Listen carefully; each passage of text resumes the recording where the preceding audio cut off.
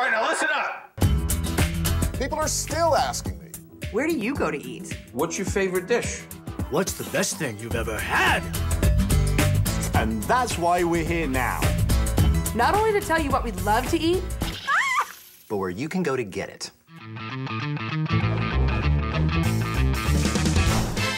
These things work very well together. Fish and chips, spaghetti and meatballs. Of all the combinations of food I've ever had, there's just nothing like it. Uh, it's just such a great, authentic flavor combo. I am having trouble describing what I'm seeing right now. Bam! it is the greatest combo, period. I'm ready to eat.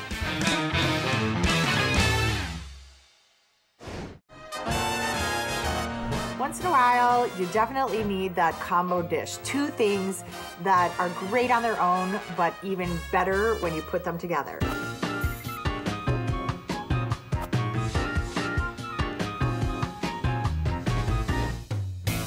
This is what I'm talking about. The ultimate combo. Spaghetti and big, huge meatballs from Extra Virgin in New York City. I mean, look at these meatballs. They're ginormous.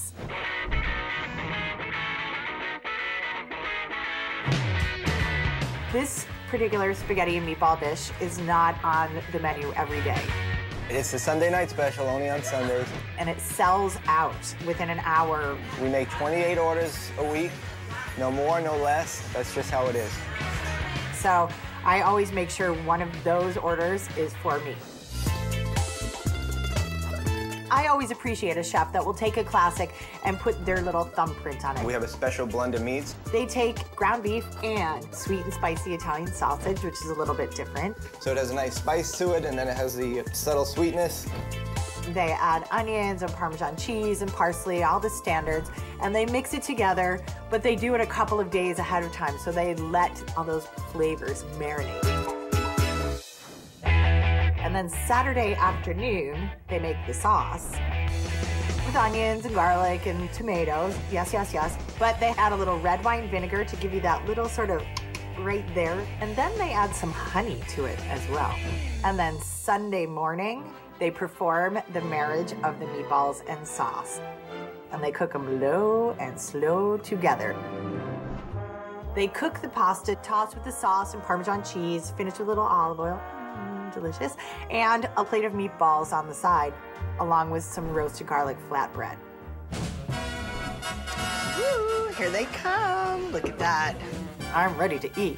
Hello, beautiful. I mean, it's this perfect combination of the sour, the sweet, the tomatoes, big meaty flavors. Very good. Nice, big, succulent, moist meatballs. Love that. Mm. And then, of course, like lots of red wine to finish it off with. And I'm just like, oh. Um, can I have some more, please? I need a lot of wine to go with my big meatballs. it's just the perfect kind of comfort food that just makes me a happy, happy girl.